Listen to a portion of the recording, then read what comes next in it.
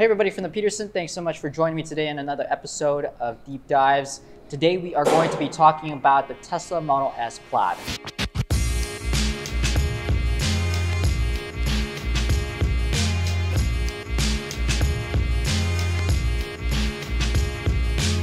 Now there's no denying that the Model S Plaid is one of the fastest EVs out there. So fast, in fact, that it made one of the quickest times at the Green Hell, aka the Nürburgring Nordschleife track in Germany, clocking at a time of 7 minutes 35.579 seconds, which is 7 seconds faster than the Porsche Taycan Turbo. Well, now you might be wondering, well, how did this even come about? The Tesla Model S is a mid-sized luxury all-electric 5-door liftback that was introduced in June of 2012. Development of the Model S began prior to 2007 under the code name White Star. So the Model S was officially announced in June 30, 2008 and a prototype was unveiled in March 2009.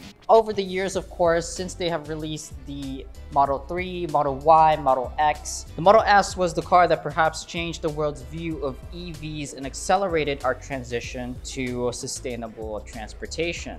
Now, the Model S is the very first electric car to surpass new car sales in every country. Sales passed 250,000 units in September 2018. The Plaid is the quickest and most powerful version of the Model S and has a three-motor drivetrain producing over a thousand horsepower. Now, from the outside, it might seem like it's just a regular Model S Plaid, but when you actually take a look and open the doors, you'll see that this has been completely stripped out, essentially built to time attack. Now this car has a full roll cage, racing seats, rear seat delete, and plenty of safety features. And this particular plaid was used for testing at the Nürburgring Nordschleife. Now the Model S has been with us now for 10 years and perhaps a new generation or a new mid-sized luxury vehicle will eventually be in the horizon.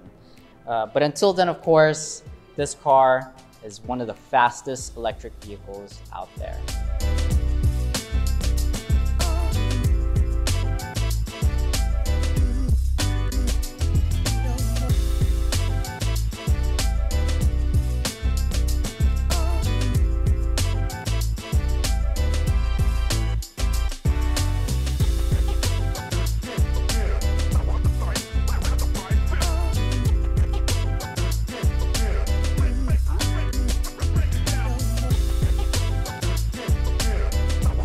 Well, thank you guys so much for watching the episode of Deep Dives here at the Petersen Automotive Museum.